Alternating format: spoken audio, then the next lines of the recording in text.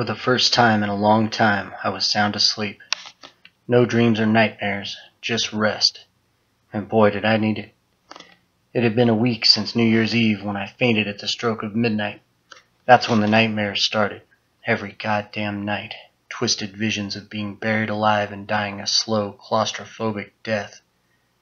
It all came to a head two days ago when I woke up with the flu and started hallucinating. Only now I know I wasn't sick. Now I know that death had gripped my soul. I came home from work that Friday feeling awful. Joan had left for the weekend and our apartment seemed small and desolate. Sick and lonely, I crumpled on the couch and watched some garbage movies on Netflix until I began to nod off. Then I picked myself up and stumbled off to bed. The night passed quietly. Nothing out of the ordinary, unless you count the inevitable nightmare which jolted me wide awake Saturday morning. What a day that was! I felt old and arthritic, and had to laugh when Isaac texted that he wanted to go out for a beer. No way in hell was I leaving my place unless it was on fire. There weren't any hallucinations, thank God, but still, I had this strange feeling, like something was watching my every move. Not pleasant. Anyway, my Saturday consisted of more Netflix, a tentative message exchange with Joan, and scrounging around in the kitchen. Joan said she was feeling better, and though neither of us mentioned it, I think we both knew it was because she'd gotten away from me. I tried my best not to think about that, or what it might mean for our relationship, but it was like trying to ignore a mosquito on the back of my neck. Next to impossible. Sunday brought more of the same, but this time the nightmare had been different. This time I dreamt that I was watching my own funeral. I saw the casket lying in the open grave, presumably with my embalmed and nicely dressed corpse inside. I saw my Joni on her knees in a black dress, clutching handfuls of fresh, damp earth as she wept. I saw my mother, also in black, veiled and morose. Isaac, Franklin, and Bill were all there too. My quad mates looked solemn, and it was they who began to shovel in the dirt. Even though I was just a nameless, faceless observer, I've never felt so cold, so empty inside while dreaming, especially once the preacher appeared. Whoever he was, this guy was older and tall, gaunt and very pale. He had short black hair, and as he began to recite the Lord's Prayer, I felt myself, my actual physical sleeping self, not my dream self, begin to tremble. His voice was like thunder, deep and loud and everywhere. It echoed throughout the graveyard, and his stern, hollow eyes bored right into me. Again, the actual, physical me. For thine is the kingdom, the power and glory, for ever and ever. And I woke up just before the creepy son of a bitch said amen. I still felt like crap, and now I had the added bonus of acute paranoia. I was jumping at shadows all day. Every little noise practically gave me a heart attack, and as the day faded into night, I began to feel very afraid. I can't really explain why either. I just felt like something horrible was going to happen. And it did, of course, but not till much later. I hadn't heard from Joan all day, and I was literally about to call and beg to let me stay at her parents' house that night, but I knew how crazy and pathetic I'd sound. So I sucked it up, took a long, hot shower, swallowed a shot and a half of NyQuil, and dragged my ass to bed. I also left my reading light on. All of which brings me back to where I started, lying in bed, dreamless, finally at peace. That's when it happened, the whole goddamn thing. First, the voice, a disembodied whisper inside my head but outside of my sleep. Blaine. Then something grabbed and shook me, jarring me awake, and whatever it was, it succeeded quite well. Blaine.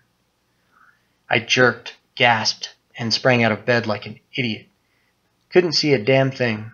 The light had gone out and thick walls of darkness closed in around me. Blaine. I screamed. The blanket slid off the mattress, twisting around my legs, and I fell to my knees. Panic surged in my veins, and my heart lurched into overdrive. Fuck, I growled. Frantic, I leapt to my feet and, half crouched, groped my way to the light switch.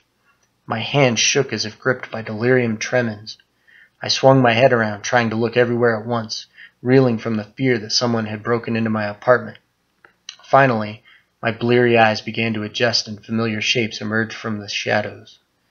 I saw the large dresser against the far wall, the outline of the shaded window and Joan's closet on the other side of the bed. The door to the hallway stood out in the murkiness, and I stumbled toward it, hands in front of me like a blind man. Looking over my shoulder, I ran my fingers along the wall, trying to find the light switch. The grainy drywall seemed to go on forever, but I didn't dare turn my head. Whoever was in there had to be right behind me. I didn't see anyone or anything, but that didn't matter. The fucker could have been hiding under the bed for all I knew. My mind was racing. Was it a robber? Some sick Dahmer-like serial killer? Was I gonna die? And where was the fucking light switch? Well, it felt like forever, which means it was probably about two seconds, but I found the damn switch and flicked it on. The harsh overhead light made me wince and groan, and through squinted eyes I scanned the room for the supposed invader. But other than the blankets on the floor, nothing looked out of place. All right, I said, struggling to calm down. Whoever you are, come on out. No response. The bedroom fell silent, no hint of movement anywhere. The bed, I thought. That's where he is. He must have slid beneath it. Shit. I guess nobody's here after all. Hoping to God that I sounded convincing, I walked around the bed and over to Joan's closet. My heart was still thumping, but at least I could see. I reached for the closet door, hesitated, wondering if the intruder had actually slipped in there. Then, mustering all of my courage, I pulled it open.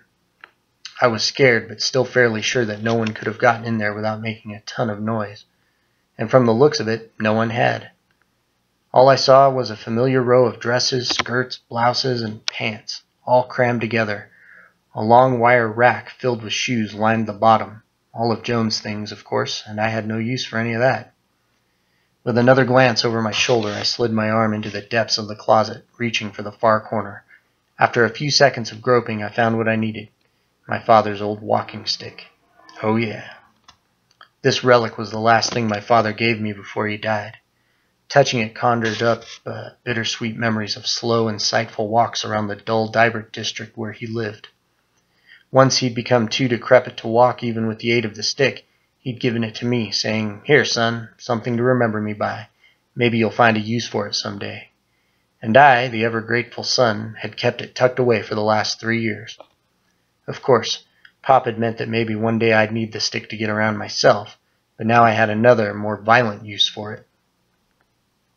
Namely, to crack the skull of the dumb crackhead moron who'd broken into my place.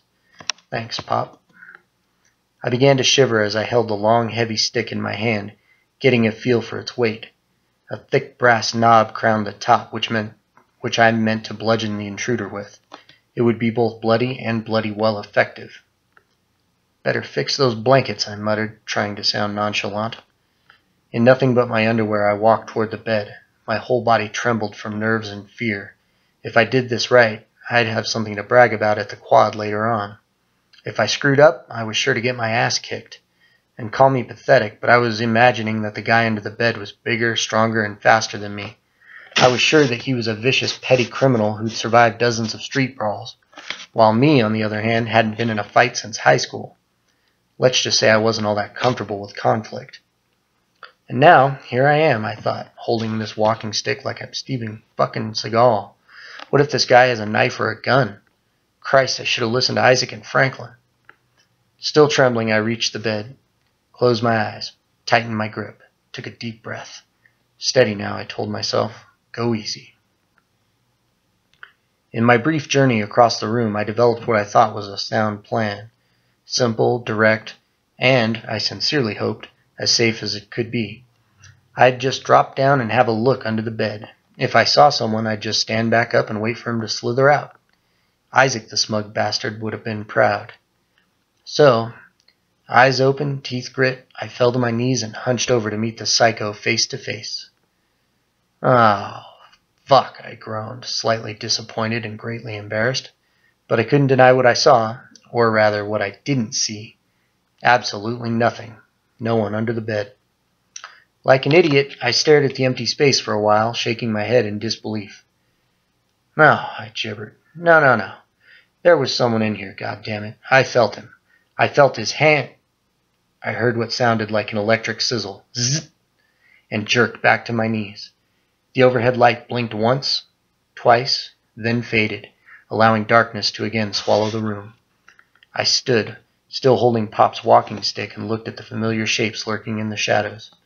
Great, I said, just great. With a heavy sigh, I laid the walking stick on Joan's side of the bed and went around the bed to gather up the blankets. After two steps, I stopped. A sharp cramp struck below my navel, almost like getting punched. My bladder, telling me that I had to piss like a racehorse, and if I didn't go soon, I'd pee all over the place. Damn it, I thought, doing a weary about face and shuffling into the hall, unaware that I'd been summoned, unaware of my grim destiny hiding beyond the bathroom door.